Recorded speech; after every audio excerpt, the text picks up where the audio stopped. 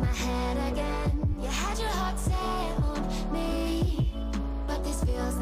तो हिंद मेरे भाइयों, कैसे हो आप सब? यार, आज की वीडियो में मैं आपको कैलिस्थेनिक के आर्म बैंड हैंड स्टैंड की प्रोग्रेशन सिखाने वाला हूँ। पर इसको सिखाने से पहले मैं आपसे एक ये बात पूछना चाहता हूँ कि आपको आर्म बैंड सीखने से पहले आपको ये दो चीज़ें आती हैं। सबसे पहले हैंड स्टैंड और आपको आर्म बैंड। अगर आपको ये चीज़ें आती हैं तो आप कॉम्बिनेशन आगे से जल्दी सीख सकते हो। अगर आपको ये चीज़ें नहीं आती तो आप मेरी पुरानी वीडियोज़ को देख सकते हो। उसमें मैंने आपको सिखाया, क्योंकि अगर आपको ये नहीं आती है तो आपको थोड़ा टाइम लगेगा। तो जिसने, जिस चीज़ को आपको हैंड स्टैंड और आर्म बैंड आता है तो आज मैं आपको पाँच ऐसे स्टेप बता रहा हूँ जिसको आप सीख कर ईजिली पाँच दिन में सॉरी पाँच से छः दिन में आप ईजिली सीख सकते हो इसे जल्दी से जल्दी।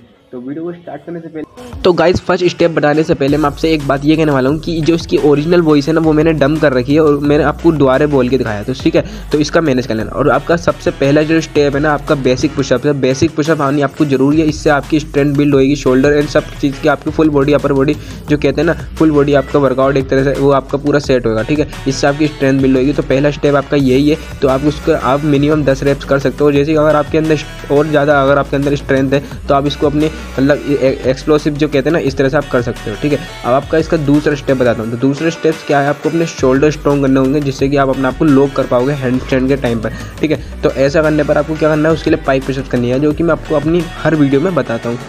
तो पाइक पुशअप आपको कुछ इस तरह से करनी है, ठीक है? तो आप देख सकते हो। तो पाइक पुशअप करने के बाद अगर आपको ये पाइक पुशअप में और दिक्कत होती है तो आप इसका ईजियर भी कर सकते हो। ईजियर में आपको थोड़ा और हाथ पैर आप अपने जगह आगे को कर सकते हो। पर अगर आपको अपना आपको होल्ड करना आता है तो आप इस तरह से आप कर सकते हो, ठीक है? इसके भी आपको दस सेट करने हैं, दस सेट करोगे, तभी आपके शोल्डर में एक पावर आएगी। तो फिर आप तो अब तीसरा स्टेप ये आता है कि तीसरे स्टेप में आपको पाइक पुशअप्स के ही होल्ड करना है, ठीक है?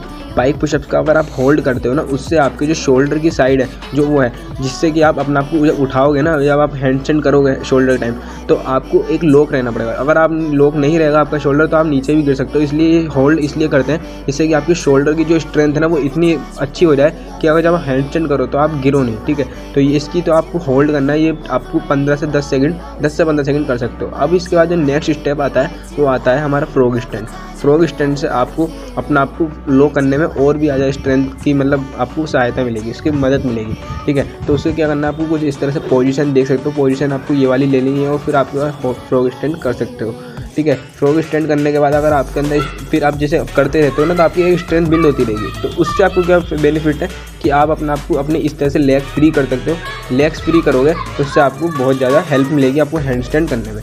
अब फाइनल स्टेप आपको क्या करना है? फाइनल स्टेप इसका यही है कि आपको इसका होल्ड करना है और होल्ड करके प्रैक्टिस करते रहिए। आपको ऐसे अपने लेग्स उठाने हैं और ये ऐसे उठा उठा के मतलब अपने आपको प्रैक्टिस करना है। और अब ऐसा करके करते हैं ना, एक एक टाइम ऐसा करना कि आप अपने आपको पूरा उठा लेना, ठीक है? जैसे कि आप देख सकते हो इस तरह से। ऐसे कर करके आप प्रैक्टिस कर सकते हो।